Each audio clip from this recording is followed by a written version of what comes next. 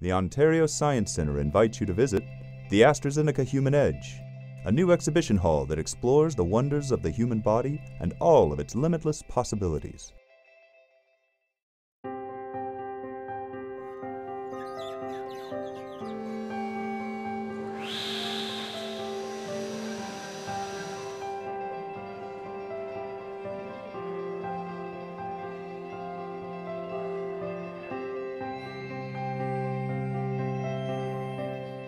It's a pretty magical time to go out on the floor because you see things that are different almost every day and you start to see that the things we've been talking about for a long time are actually taking life and taking shape and looking really great.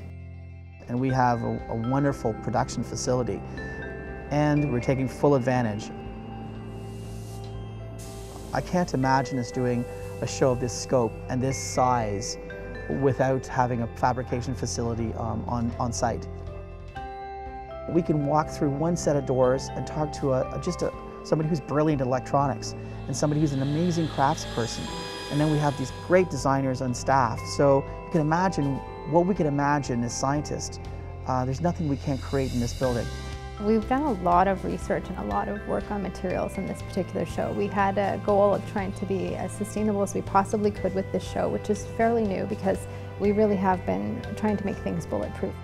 This is our printer and this is the material that we chose to use in the end and we're really happy to say that it meets all of the criteria and when we put it together with the overlaminate it performs well and it looks great. It's not a linear process because it's collaborative. There's a lot of people involved in getting the idea from something that you begin as a conceptual drawing.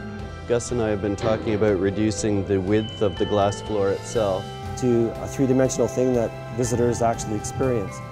We wanted to take the human body and really showcase how amazing it is. Take some really good examples of extreme athletes, people who push limits with their body, and then juxtapose that with the body and the systems and how they allow us to do that. Well, I think we want them to have had a fantastic time and to have really kind of had a really social experience where each one of them in the group will get something slightly different. But we want them to really have a greater understanding and appreciation of the human body and also understand that a lot of what we think is, you know, our barrier or our limit, it's sort of in our own heads. And so then by hearing all these inspiring stories and learning about these athletes, then they too will sort of see that they can be achieving more and, and be, you know, extending their limits.